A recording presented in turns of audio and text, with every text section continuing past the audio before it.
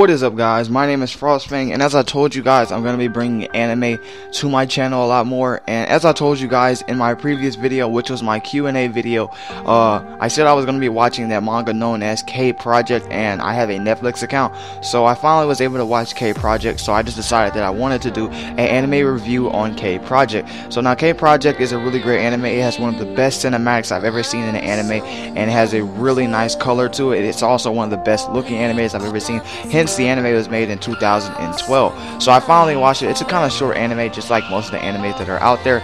Uh, it's only uh, 13 uh, episodes long, but I really like the anime. Uh, at first, when I was watching it, it had a really slow pace to it, so I kind of didn't like it, and I thought it was kind of boring. But I kept on watching the anime, so uh, I kind of started to fall in love with it. And uh, Edo Ninja Storm HD recommended the anime to it to me.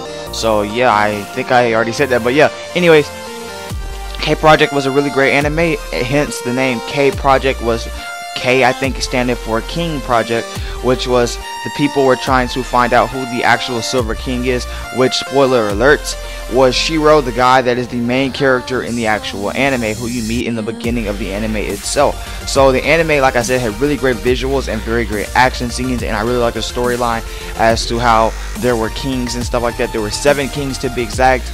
Um, we've only seen, I think, maybe four. We've seen the Silver King, the Gold King, the Blue King, and the Red King, which is Mikoto. Hence, the dude who died at the end of the of the episode, uh, episode 13. He was impaled through the chest. Um, yes, but it's a really great anime, and I recommend it to anybody who likes uh, very cinematic animes that are have really great visuals and are pretty much looking for action. Uh, unfortunately, this isn't a romance anime, so you won't be finding any romance here. So sorry if you're in that romance stuff, you're not gonna like this anime at all. But um, as far as that goes, uh, like I said, if you're in the action uh, type of anime like me, um, you will really like this anime. It has a it has a kind of different feel to it though, because I haven't seen any any other anime that has a very similar feel to this anime. This anime has its own set of uh, action or emotions or whatever, and whoever created this anime itself, um, I forgot the name to it, guys. My bad, but I will be having information down below in the description. But whoever created this anime, um or the pretty much editors of this anime. They did a great job um, with the editing of this anime itself. I know quite a little bit about editing, so I can kind of tell there was a lot of time put into it. I'm not trying to brag or anything, but like I said, guys, this is a really great anime.